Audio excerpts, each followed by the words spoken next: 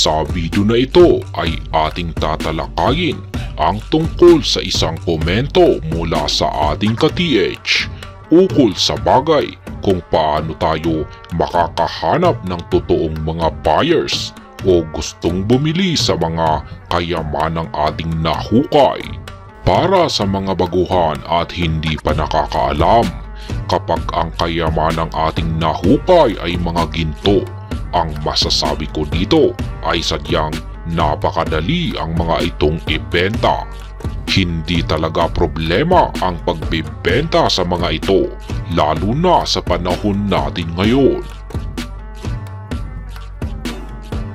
Ayon dito sa komento ng ating ka-TH, nais niyang malaman kung paano tayo makakahanap ng totoong buyer na gustong bumili ng mga items na Yamashita at bunkers. Sapagkat meron daw iba't ibang mga items o kahon na nasa kamay ng kanyang mga kasamahan na hanggang sa ngayon ay wala pa silang nakahanap na totoong buyer.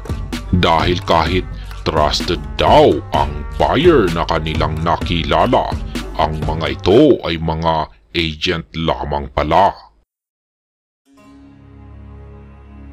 Bago tayo magpatuloy, nais ko lamang na magbigay ng isang mahalagang paalala na meron lamang akong dalawang YouTube channel. Ito ang Treasure Hunt Club at ang Elmo Zugwo. Yan lamang at wala ng iba. Maliban dito ay hindi ako humihingi ng kahit anumang donasyon o bayad bilang kapalit sa mga impormasyon na aking ibinabahagi. Uulitin ko, dapat ninyong malaman na ako ay hindi kailanman na nanghihingi ng bayad o donasyon sa aking ibinabahaging mga impormasyon.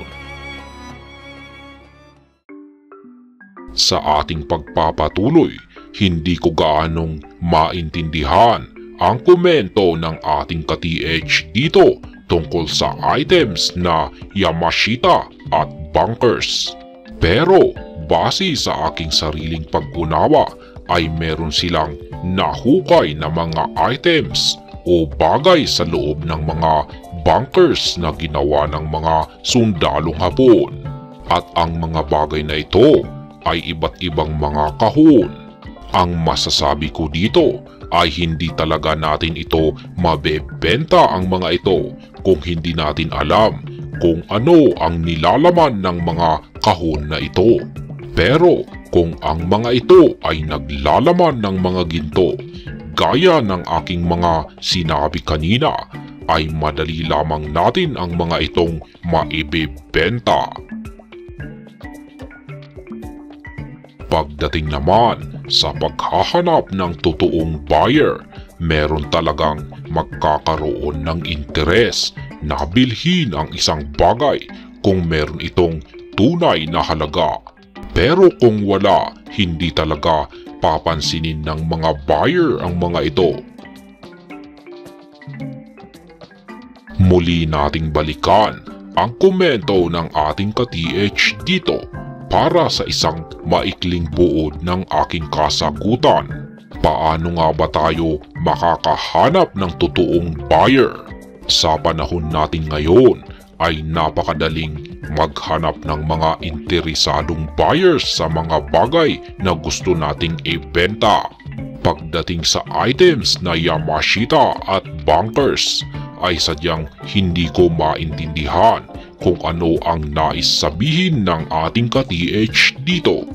Base lamang sa aking sariling pag-unawa ay meron silang nakuhang mga items na posibleng mga Yamashita treasures sa loob ng mga bunkers na ginawa ng mga sundalong hapon.